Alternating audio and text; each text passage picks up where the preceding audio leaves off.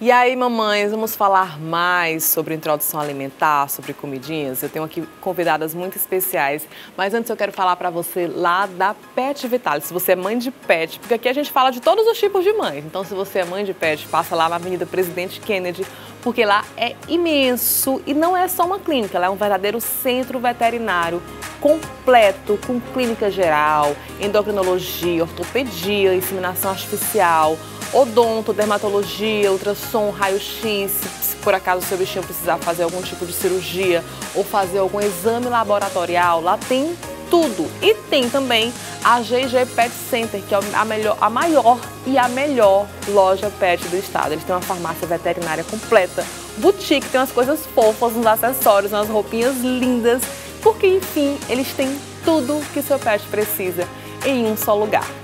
Vamos agora para a nossa conversa sobre introdução alimentar, sobre comidas, aliás, não só introdução alimentar, porque a gente não consegue restringir esse assunto. Vamos falar de todas as fases das crianças.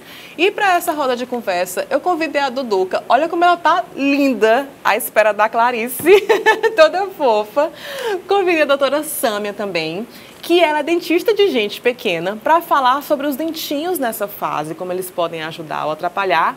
E a Carol, Carol Macedo, que é nutricionista materno-infantil, para a gente conversar sobre esse assunto. Quero dizer que nós temos profissionais, mas vamos conversar também como mães e ficarmos bem à vontade. Quero começar perguntando a vocês: as mamães de primeira viagem normalmente relatam que ouvem muito da sogra ou da própria mãe. Ah, meu filho, mas você começou a comer papinha com três meses de idade. E tá aí, tá lindo, tá bonito, tá saudável, nananã, falando aqui a Duduca já tá. Isso é comum, porque a galera dos anos 90, 80, né, o pessoal que nasceu tipo 86 e tal, aqui, tá, as mães ainda tinham aquele costume de fazer a papinha, né, amassava, e aí dava para a criança em três meses. Por que, que isso não pode mais, minha gente? Quem é que pode responder para a gente? Pela própria questão fisiológica, né? Do bebê. O bebê, com três meses, quatro meses, três meses, ele está saindo da fase extra gestação. Então é como se ele estivesse nascendo agora. Então, fisiologicamente, ele não tem, pelos reflexos, pela questão da postura, então o risco de engasgo é maior. E aí o que, que a gente tem hoje? O nosso, o nosso quadro, pessoas com obesidade, a questão da compulsão alimentar. Mas o fato de isso ter acontecido com três meses pode refletir na vida adulta? Sim, 100%. É mesmo. Aline, e até assim, a questão da, da introdução alimentar, você falou nos anos 90, mas infelizmente, atualmente, a gente ainda encontra é, esses casos, esse tipo de conselho no consultório, entre as, as mães que são amigas, né? Também de, desse caso de querer introduzir precocemente. Essa questão do, de, de, de do dizer, ah, porque minha, minha mãe está dizendo, ou algum profissional disse que, eu já, que meu filho está baixo peso, já tenho que introduzir a alimentação. Então a gente trabalha nessa desmistificação uhum. e no passo de, de formiguinha mesmo, que não é o correto. E a questão também da idade, não é só a idade, o que eu costumo dizer. Recentemente teve até uma polêmica, né? A gente está falando aqui de, uhum. de um, um, programa desse de televisão e nas mídias sociais também se sim, discutem muito sim. sobre isso.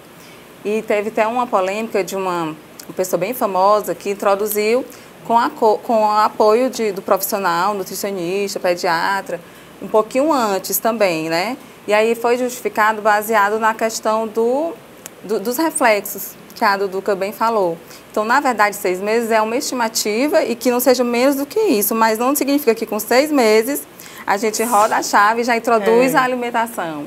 Porque tem, depende, fez seis meses, tem os reflexos, tem todos os reflexos é, satisfatórios para aceitar e, e, poder se alimentar melhor, ou se alimentar de comida sólida, não uhum. só do aleitamento materno ou fórmula láctea, né? Então, mesmo que o bebê, por algum motivo, a gente sabe que a amamentação é, é o mais indicado, mesmo que o bebê, por algum motivo, ah, ele não, não mamou, mesmo assim, a, a fórmula é, é mais de, indicada que uma que frutinha, que suco, alguma coisa, não é isso? isso? Como mãe, doutora Samia, como é que foi a sua experiência na introdução alimentar? Então, é, as meninas começaram também por volta dos seis meses, foi tudo muito tranquilo, mas assim, com muita paciência e muita dedicação, porque esse é um momento bem especial na vida da criança, várias coisas estão acontecendo nesse momento.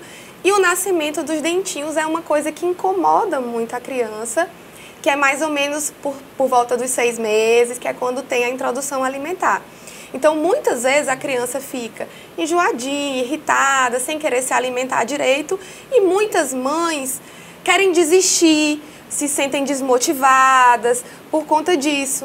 E aí a gente tem que estimula, pede que vá no nutricionista para ter realmente essa paciência na hora de fazer essa introdução alimentar. É um período bem difícil da vida da criança, por volta desses seis Porque meses. Porque coincide o fato da introdução alimentar Isso, e, e o algum... nascimento, exatamente. E coincide também o período em que a criança começa a ter, adquirir a sua própria imunidade.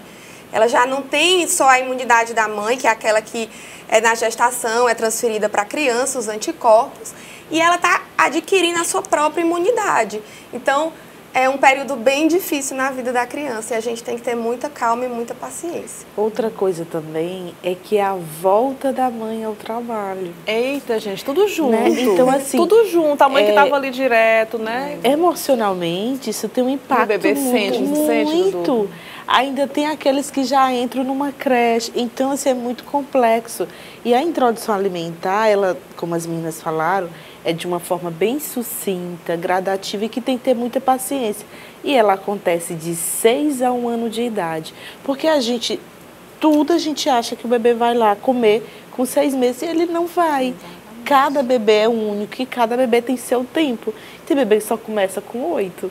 Com oito meses? Meses. É Por, mesmo? Exato. Então tem outros que só começam com um ano.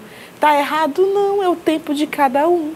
E a mãe tem que observar e respeitar. Observar, respeitar. Porque existe alguma pressão, assim, tipo, a criança fez seis meses, ah, ele já está comendo isso, já come é. isso, já come frutinha, é. já come não sei o quê. Começa, começa uma certa aquela competição. Você né? nota isso, doutora Carol? Demais, uma certa competição, principalmente aquela pressão na, na, na, na cobrança da mãe.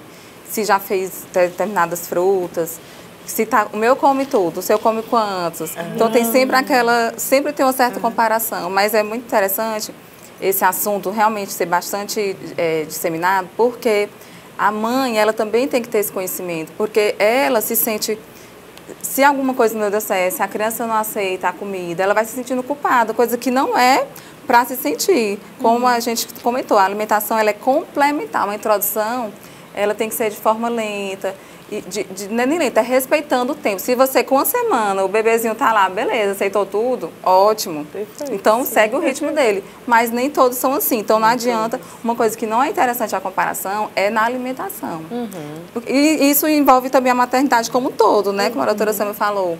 Questão de, de, dos dentinhos. Então, quantas vezes a gente não recebe relatos que a criança não está aceitando determinada fruta que sempre aceitou. Uhum. E, no e, a gente, é, e ela fica sem saber se é apetite, se é porque não gostou da comida. E é questão do dente. Então tem todos esses.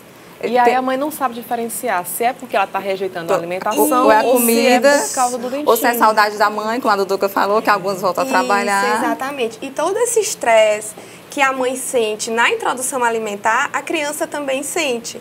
Então uhum. a mãe transfere toda aquela aquela insegurança, aquele nervosismo daquele momento para a criança. Então a criança também se estressa e esse estresse vai alterar o sono, a digestão. Então é uma coisa bem complexa. Gente, vamos falar sobre pepeto e introdução alimentar. Aquela criança que só mama, por exemplo, né? E de repente começa a comer, bom, começa a frutinha, começa a introdução alimentar. Atrapalha o leite materno na introdução alimentar, Duca? Não. Não? Não. De maneira alguma, porque ela está acostumada. Ali, por exemplo, ela está com a barriguinha cheia de, de, de leitinho. E aí uhum. chega o horário de almoçar, por exemplo. Ou ela acabou de almoçar. Pode dar o peito logo depois? Uhum. Sem nenhum problema? Sem nenhum problema. O que vai atrapalhar vai depender muito do meu ponto de vista, eu, mãe, em que momento eu vou estar ofertando esse peito. Mas de forma alguma vai é, afetar. O, claro que se eu der um peito na hora da refeição, obviamente ele não vai querer Mas, comer. Então, logo depois, nós sabemos, logo por exemplo, que nós é. não podemos, é, a doutora Carol pode nos ajudar também nisso. É, a gente vai, imagina, você come arroz, carne, feijão, uma salada e logo depois toma um copo de leite. Pode uhum. dificultar a digestão. E no bebê, isso não pode acontecer não, também? Por, não, porque não. o leite materno ele é diferente. O leite materno é totalmente diferente. É. Isso é indicado é, comparado até essa, essa sua, é, falando em relação a essa comparação com a fórmula. Uhum. A gente indica pelo menos de 30 a 40 minutos Sim. após a refeição que, seja ingerida a fórmula, né? Uhum. Se for para ser ingerida, que é interessante que não, não uhum. se assemelhe tanto a um período então, do almoço, tanto o leite exemplo. materno como a fórmula não tem problema. Não, a, a... fórmula é, é, bom evitar ah, e demorar tá. pelo menos é 30 minutos. Pronto. Essa absorção materno... ela é competitiva. Já o leite materno não, o leite materno terminou, já é. pode garantir. É, e uma coisa interessante do ponto de vista que a gente, a gente vê hoje, as crianças que são amamentadas, que passam pela fase de, de nascimento dos dentinhos, as crianças que são amamentadas, elas passam de maneira bem mais natural, bem mais leve, com bem menos sintomatologia. Massageia, doutora Sandra? Não, é porque o leite materno, em toda a sua perfeição, ele tem algumas prostaglandinas, algumas, alguns produtos no leite que dão ação anti-inflamatória ali na boca, exatamente. Caramba, é muito é perfeito. tudo muito perfeito, é exatamente. É muito perfeito. Tanto que a gente sugere que a, a mamãe só vá escovar o dente depois de 30 a 40 minutos depois da, da amamentação.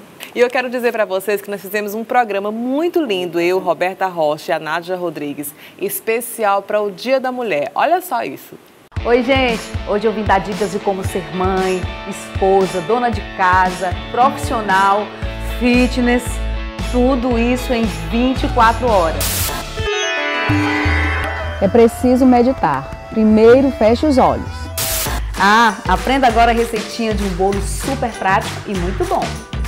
O negócio é anotar tudo que você gasta, viu?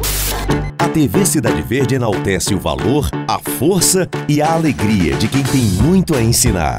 Mulheres do Piauí vem aí, com dicas, diversão e, claro, muitas homenagens. Mulheres do Piauí. Oferecimento Carvalho Supermercado. Tem sempre um bem pertinho de você. Gregory 3231 9927. Tá muito lindo esse programa. Daqui a pouco a gente volta para falar mais sobre isso. Eu tenho muitas dúvidas, eu quero saber sobre bacalhau, camarão e vários outros alimentos para os nossos bebês. Eu volto já já.